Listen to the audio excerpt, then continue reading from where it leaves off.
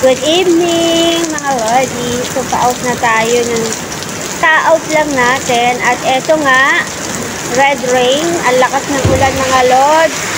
Bali, susugudin natin tong ulan na to. So ayan, at ang lakas pa ng thunderstorm with kidlat pa. So maglalakad lang tayo, sugod ulan tayo mga Lodi. So tara na, at tayo sumugod na ng ulan. Susugod ulan lang tayo mga Lodi. Siguradong basang-basa ang ating pantalon nito. Ayan. Teka, may thunderstorm pa oh, sa kakidlat. Ay, mababasa pa ang ating bag. So, ayan na. Ulan pa more. Ayan, yung kalangitan. Kumikidlat-kidlat pa. So, ayan, nakapayong lang tayo. Sugod ulan. Buhay OFW. Ito, ang oras ay quarter to 10 at uh, red rain. Kasi ang ulan dito ay may yellow rain, red rain, black rain. Kapag black rain, wala tayong pasok. So, ang signal ay red. So, pag katapos ng red, pataas, black rain. So, wala tayong pasok niyan. So, nakikita nyo ba? Oh my gulay!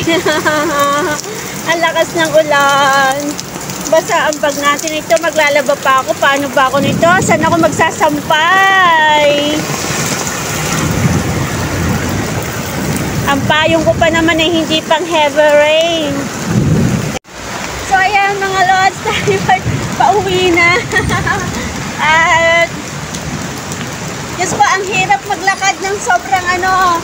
At ako magpapaalam na rin. At ang hirap mag-vlog o kumuha ng video ng ganitong sumusugod tayo sa ulan. Ano? So, pauwi na ako. Ay, ang lakas ng tubig noon. Oh, umaapaw! Umaapaw mga lodi. Ipakita ko muna sa inyo yung tubig bago ako magpaalam, ha? Ayan, umaapaw yung tubig. Natanggal yung ano, yung bakal niya sa dami ng tubig. Naku, babaha pa yata dito. Ayan o, natanggal yung bakal. Yung takip ng karsada. Maapaw na.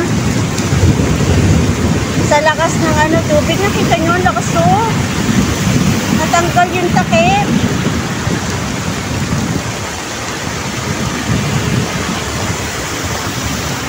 Tanggal yung takip ng ano.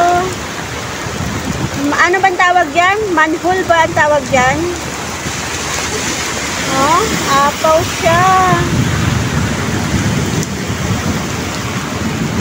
Paano mga lods? Ako'y pauwi na at ang hirap mag-video, ano? At ako nagpapaalam na. Maraming salamat sa inyong lahat. Maraming salamat sa mga nagsusuporta sa akin.